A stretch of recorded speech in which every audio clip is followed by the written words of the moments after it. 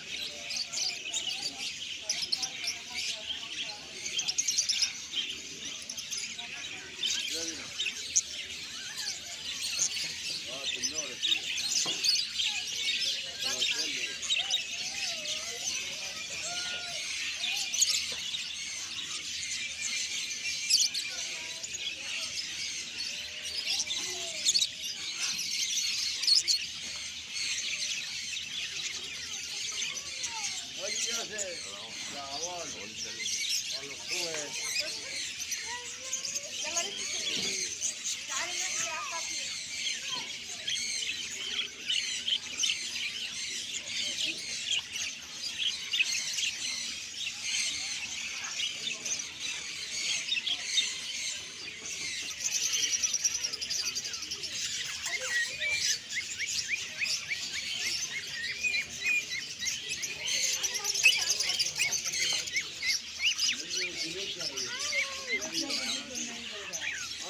Here we go.